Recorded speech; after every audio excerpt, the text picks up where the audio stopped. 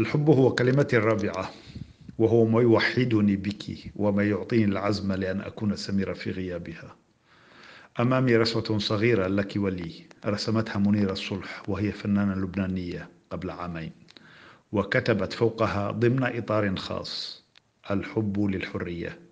وجدت في قصتنا إلهاما يتصل بالحب والحرية. هناك ما هو موجع في القصة إلى أقصى حد.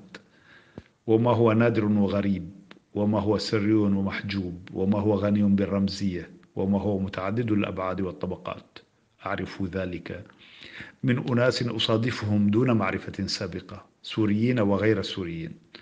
لكن مزيج النادر والموجع والغريب والمخفي والرمزي والمتعدد هو ما يجعلها قصة أمثولية وعامة لا تستنفد.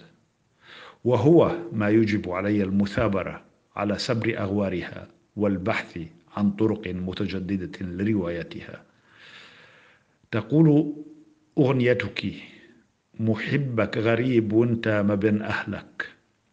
ليس محبك غريبا بقدرك أنت أيتها الحبيبة الأسيرة الغائبة لكنه غريب أيضا لا يعيش بين أهل.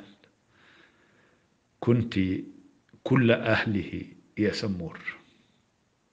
بسات يا قلبي ياسين